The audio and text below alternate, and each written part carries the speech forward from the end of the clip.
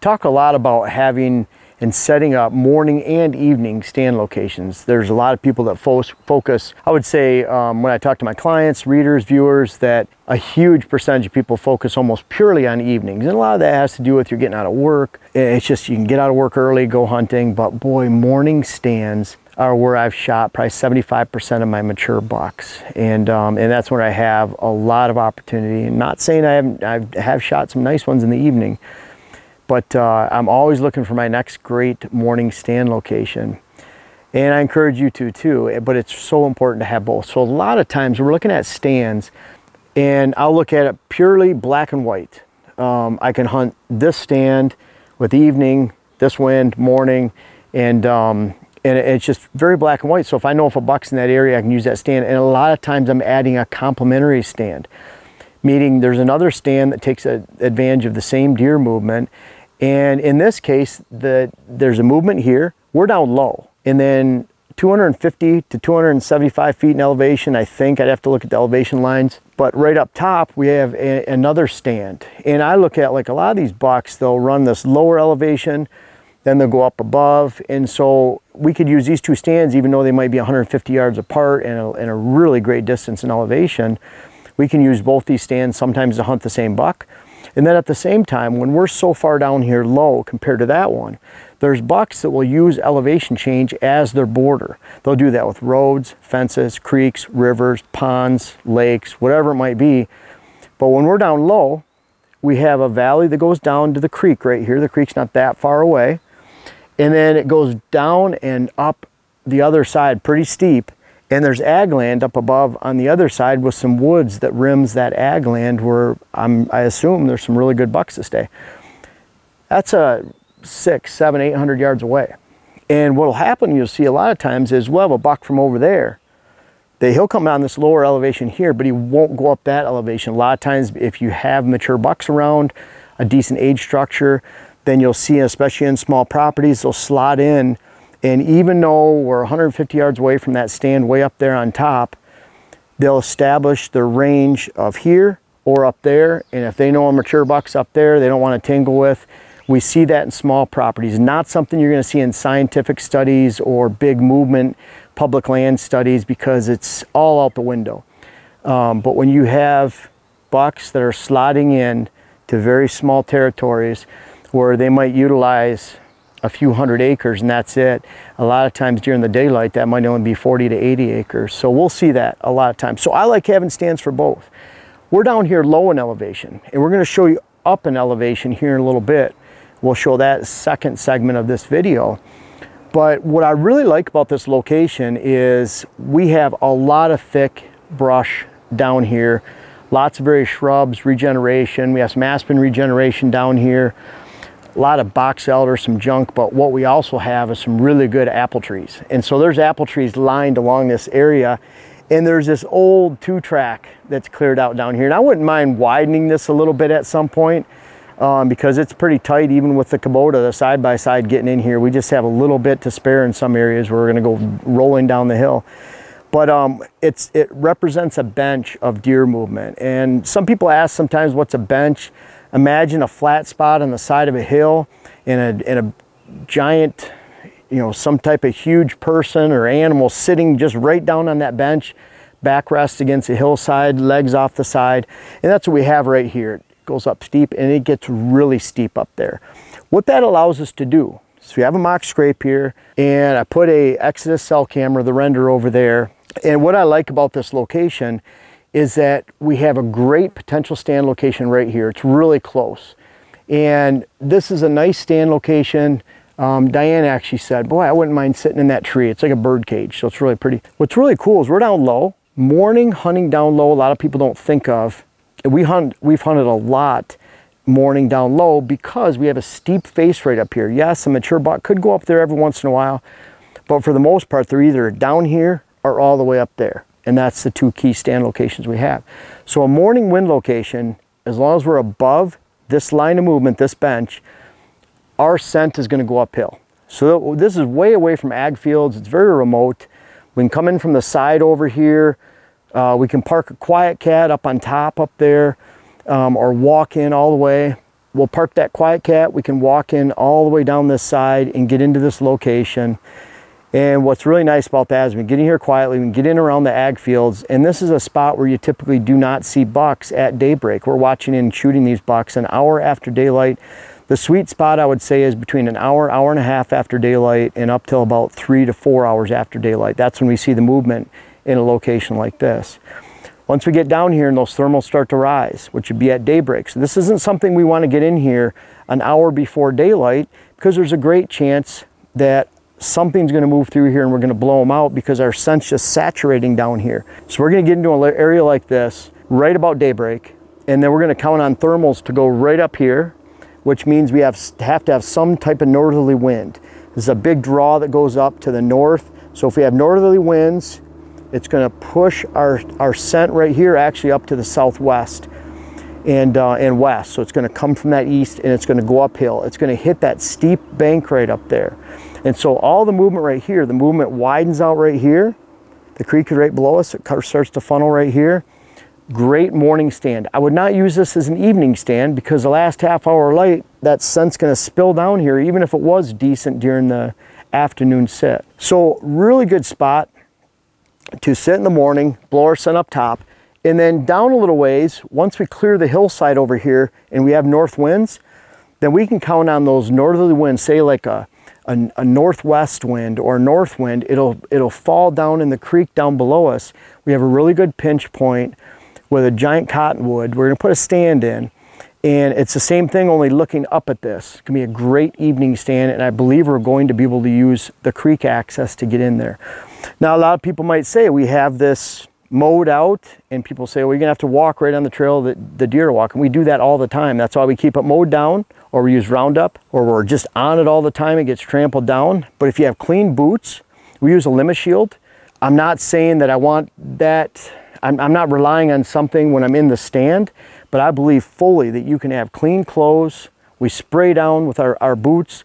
So we've had, we have lots of video of mature bucks walking right on our trail because we're keeping it mowed. All the grasses and vegetation, if it's hitting your sides, it's soaking up um, a lot of that scent, a potential of scent. Say for example, um, your boots, if they're tucked on the outside of your, if your pants are tucked on the outside of your boots, every step you take blows scent right down and saturates the ground down below you. So we tuck our boots in, we want scent going up because then we're not worried about our scent when we're on stand because if a mature buck's downwind, we're gonna spook them. Regardless of what kind of contraption or anything you're using, you can't rely on it.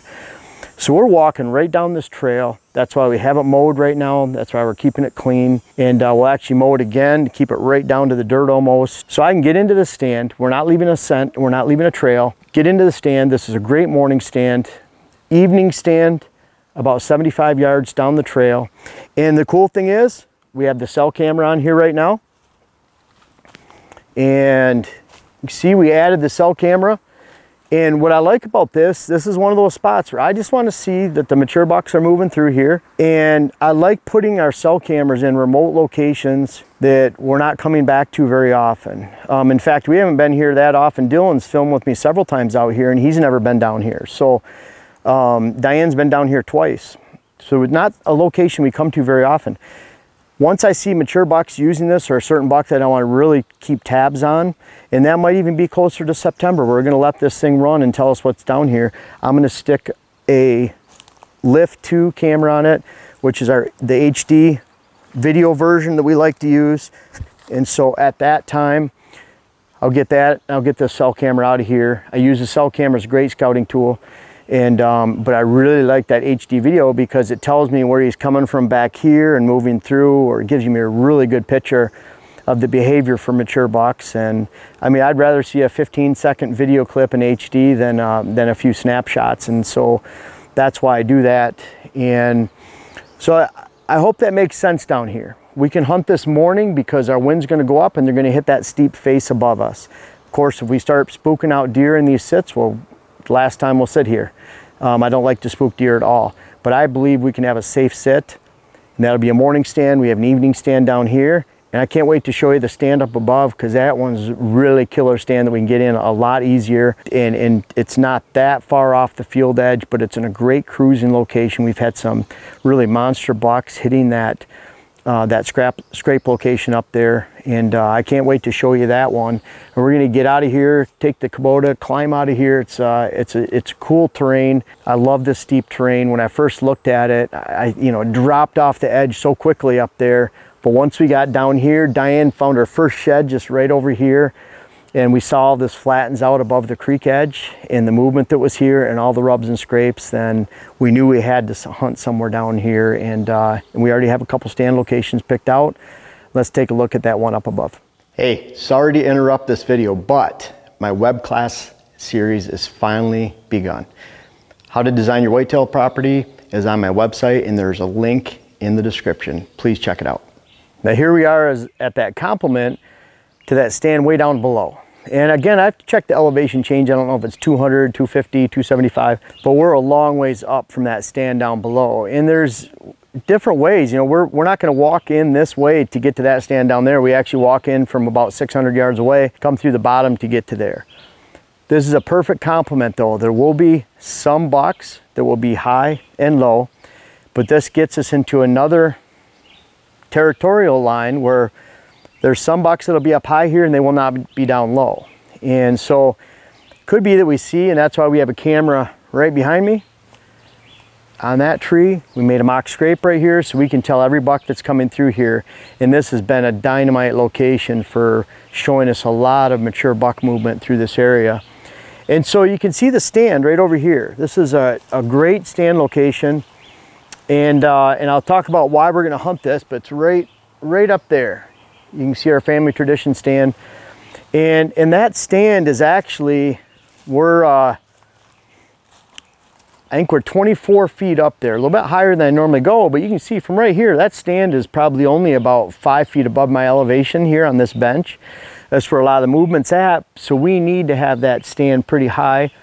Now some might go 35, 40 up in the tree, but that's not me at all. And so I've actually shot quite a few bucks in this hill country uphill. And so you really just have to play the wind. You're allowing those bucks to come through and you're not, it, the mock scrape, I can't tell you how important it is. Even the camera on the location back here on that tree, it sticks out quite a bit. We had Kermit when he came through here, he noticed the first time he came through, he's been back through three or four times, so when he didn't spook after that or didn't look at it, by adding the mock scrape here, every buck that comes through this area is focusing right here on this mock scrape and this licking branch. It's the same with that stand down below. It's the same with every stand that I have in the woods, I add a mock scrape. They're focusing here when they come in. They're not focusing on me sitting right over there, 20 yards away, five feet above them in a tree. And they're only focusing on this. So really helps you, even if you're a beginner bow hunter and you're, you have a hard time moving around and, uh, you know, I say an experienced bow hunter that knows what they're doing, they can get away with wearing, like I say, a plastic bag over them and get that shot off, making that noise and knowing when to move. But that doesn't translate into a beginning bow hunter, someone who doesn't have those seasons and seasons like Diane. You know, she doesn't have all those years of being able to move and know what, to, what she can get away with. So having this right here really uh, it's almost like it ups your skill level and your experience level just by using this because it's going to take the focus of not only you in that stand, but also that trail camera on the tree over there. They don't look at it when you have this for them to focus on. It's a great stand. Winds we're getting right now, they're coming westerly. And in the morning, wind just blows off that. It's a huge ravine down there, very deep, and deer do, will never smell us in that location in the morning with westerly winds. Count with northwesterly, southwesterly winds great location for morning, just blowing off that way right there. Now, at the same time, because it's such a steep face down there, again, it's an area that's so steep that we're blowing our scent into it from down below, but that scent's not getting up here on this bench. It's lifting off and getting right out of here, even though we're way below. It's gonna ride that face and just keep going up like a ramp. So we're not gonna get winded down there unless there's something close to the stand on the upwind side of us. Same with down here. We can hunt this in the evening and blow this right down below. And again, we're walking right through here to get to that stand. We use a Limit shield. There's a lot of sprays out there and products, and uh, that's one that we believe in and we trust. And um, not saying there's others, but that's one that we really like. And but clothes, washing our clothes, spraying down our boots, keeping them clean, keeping these trails mowed, keeping our access so we're not going through a bunch of brush in there. And I'm out here standing in shorts and, and uh, tennis shoes. And uh, we're fortunate we don't have the bugs like a lot of other places I've hunted, including the UP of Michigan. That was absolutely brutal up there for 10 years working in this heat right here because not only did you have to put up with the heat, but you had to put up with all the mosquitoes and bugs and biting flies and black flies in the spring and the horse flies in the summertime. We're pretty good here with the wind. Might be a compliment to where we have bucks up here, bucks down there. The cameras are gonna let us know. I'm hoping we pick up some more mature bucks or another one or two down there. And when those bucks are coming through this time of year, even if it's random, even if it's just once a month, they're telling you this is part of my wheelhouse. This is part of my movement. And even if they're not coming back till the middle of the rut, they're telling you they're going to come through here during the daylight. They'll be back. And so even if we lose a lot of these mature bucks that are coming up, for one, we don't care about spooking them here during the summertime because a good deer hunting parcel does not build deer numbers during the summertime, builds it during the fall. So bucks shift their patterns of movement. We're trying to keep them this year by adding fall food, fall cover, great access. So we're trying to make a lot of changes so that uh, those bucks will want to stick around. But if they don't, they're still telling us, hey, I might, this might not be my fall core area, but I'm gonna be back. I'm gonna be back during the middle of the rut. I'm gonna be back during the daylight. You just have to pick a great weather day. We use HuntCast. HuntCast, I talk about HuntWise and HuntCast, and the reason for that, it's not some you know sponsor that's just paying me money to promote their product. It's a sponsor and a partner, a business partner, that is specifically using my weather algorithm that I published in the Outdoor Life November rut issue in 2015. It's the way I've hunted for 30 years. HuntWise is putting it into their algorithm this year. It's everything I recommend with hunting the weather, that my all-weather whitetail book that came out two years ago. That's what it's all about. So I found a partner that would build this together. I know it'll be better than any other weather forecast out there. And it's not because I'm getting paid to say that, it's because it's partly my algorithm and what I've used for 30 years, so I can highly recommend it to you. This isn't just something, you know, some product on the side. This is something that's taken a lot of years of research.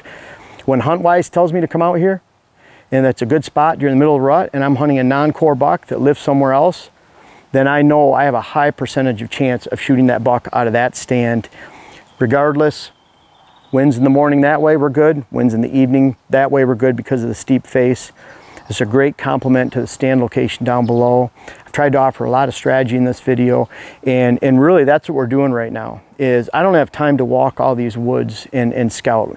Someone the other day said, you haven't even walked the woods yet? That's what they were doing. I'm focusing on the things that have to be done, the food plots, the mock scrapes, but especially the stand locations where I know I could kill a buck in here because of the winds, because it's a funnel, because it's an area that I know bucks pinch down and move here. I put a camera on it, mock scrape to let me know that that, yes indeed, these bucks move through it. This is the way they move through here. Then I locate the stand and that tree right there will be a money tree this fall. And I hope you love these setups. They're complementary setups. And this is what I'm doing. It's, I don't know if you call it speed scouting or limited scouting. Again, I don't have time to walk the woods and figure everything out. I'm gonna basically hunt this land with only looking about 20% of the land this fall because I'm purely focusing on where I can actually kill a buck, not just wandering around the woods looking at the cool trees. Hope you like this segment and these two stands and how they work together. And uh, we can't bring, wait to bring it to you this fall because I wanna be sitting right there with Dylan shooting between those two trees over there with the camera from the backside. I hope one of those monsters comes through, but either way, we're gonna enjoy sitting here because if nothing else, the view is really spectacular over there. And I hope Dylan's capturing that a little bit too because it's gonna be pretty awesome in the fall.